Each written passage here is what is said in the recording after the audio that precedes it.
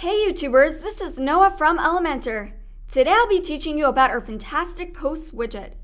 With this widget, you could display on your page any, and I repeat any custom post type in numerous layouts.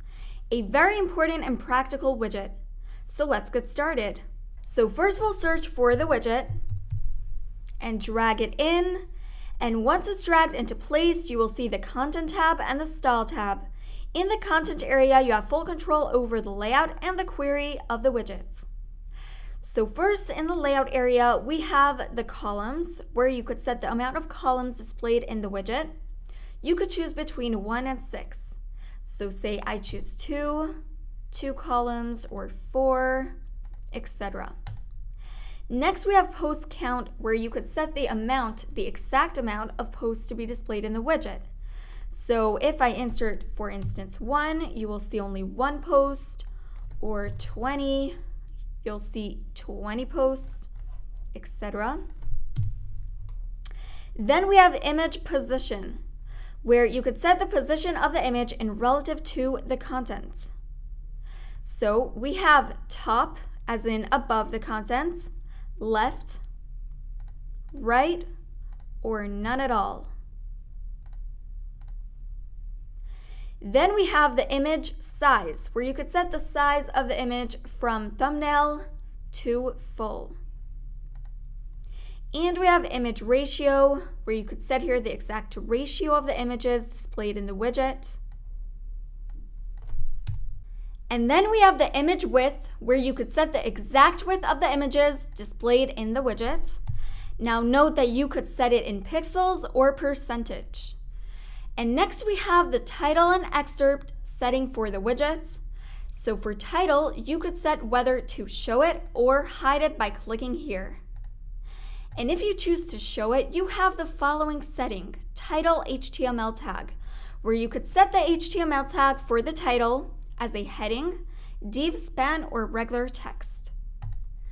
And same goes for the excerpt. You could choose whether to show it or hide it by clicking here. And if you choose to show it, you have the following setting, excerpt length, where you could set the exact amount of words that will be displayed in the widget's excerpt. So the default is set as 25. I could set it as 5 or 10. See how it changes, etc. Now next we have the metadata, where here you could select the metadata to be displayed in the widgets. A click on this field here opens the list of options. So you have author, date, time, or comments. So you could add it here. And you could remove it by clicking here. And next you have the separator between where you could insert here the exact separator that you want displayed between the metadata right here. So say I only give it one slash, you'll see here how it changes. And next we have the read more setting where you could also choose whether to show it or hide it by clicking here. And if you choose to show it, you have the following setting, read more text, where you could insert the exact text that will be displayed right here in the read more area of the widget. So say, for example, I delete this. See how it changes here. All right, so those were the layout settings for the widgets. We'll move on to the query settings of the widgets. So first here we have the source, where you could select the source from which the widget will display the content. So we have posts, pages, products, galleries, and manual selection, which we'll go over soon. So after the source setting, we have the filter settings. So first we have categories. I could filter the posts displayed by categories. For instance, if I have a fashion category in my website and I insert fashion, see how only the fashion posts are displayed. And same goes for tags. For instance, if I have a devices tag on my website and I insert devices, see how only the devices posts are displayed in the widget. Aside for these two filters, we also have the authors filter, which is extremely helpful for those of you building a website with many authors and want to display only a specific author's posts. So a click here opens the list of authors on my website. Now I'll just go back and show you the source manual selection option. Here, as it sounds, I could manually insert the exact post or posts that I want to display. So for example, I have a post called Tips for Vacation. So if I insert this, it should automatically be displayed in the list and I click on it see how only the tips for vacation post is displayed. So that was the manual selection source option. Next, we have the advanced options. So here we have order by, where you could set the order in which they're displayed as in date, title, menu order, or randomized. And then we have the order, where you could set as ascending or descending. And you have offset, where you could insert the amount of posts to be skipped over. For instance, if you insert 2, the widget will begin its display starting from the third post.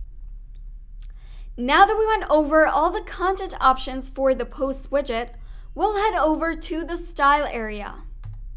So here we have control over the layout, image, and content style options in the widgets.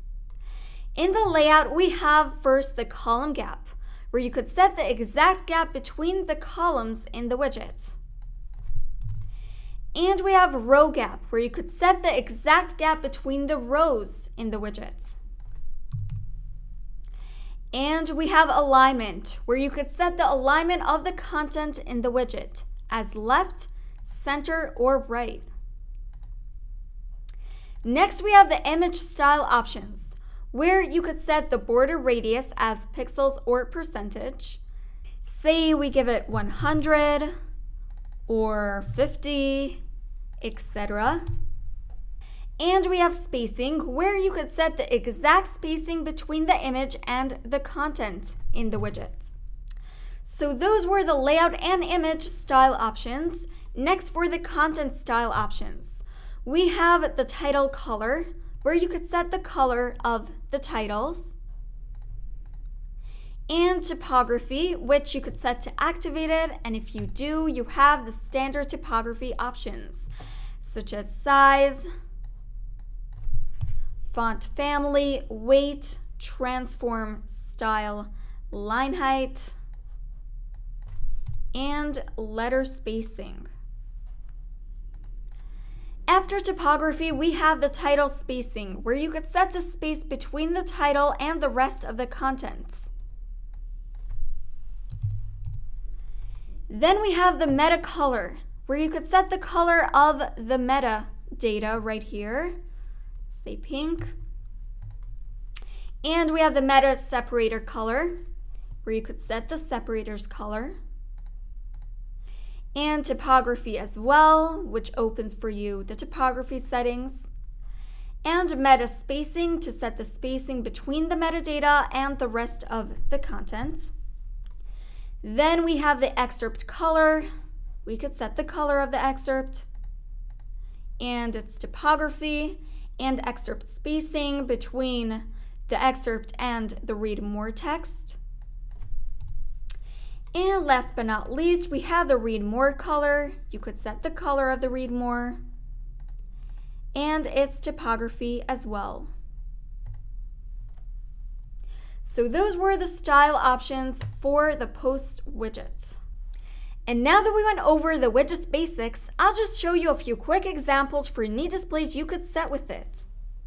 So we'll scroll down, and in this first section here, we have a post widget now here, first for the image width, I set a width of say 50 or 49. And for style image, I set the border radius as 100 pixels, which made it completely rounded. So say I were to set it as 50, it would be a bit rounded, but I set it as 100. And for the layout in the style options, for alignment, I set it as center. Unlike left or right, I centerized it. And for the next section, we have here a really nice looking section with a grid-like display of the post widget.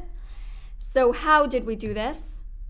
In the content area layout, we set the columns as three, post count also as three, and the image ratio, we played around with it a bit, as you could see.